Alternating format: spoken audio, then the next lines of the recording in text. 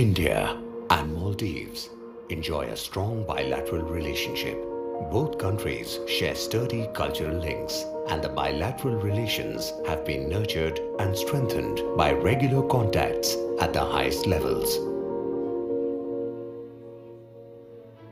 As part of its Neighborhood First policy, India is focused on delivering benefits like greater connectivity, improved infrastructure, and broader people to people contacts in Maldives. The Greater Malé Connectivity Project aims to connect the capital Malé with adjoining islands of Villingili, Gulhifalhu, and Thilafushi.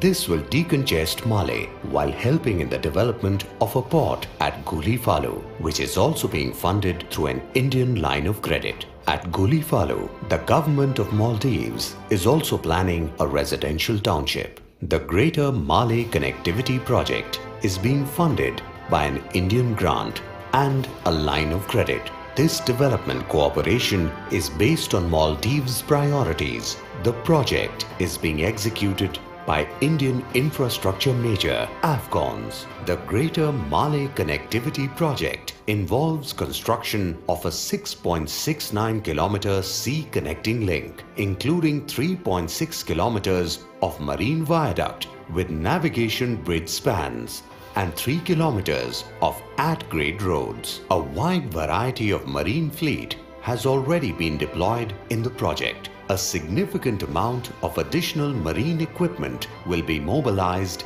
as the project progresses. The Greater Malé Connectivity Project is a testament to a deep and enduring India-Maldives relationship. It's a strong reflection of a shared commitment to development and democracy and to a partnership that delivers. I now request both the leaders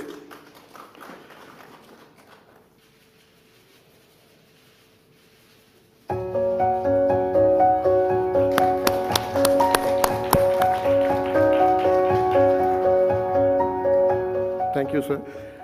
Next, we shall view a video clip prepared to review the progress on construction of 4,000 social housing units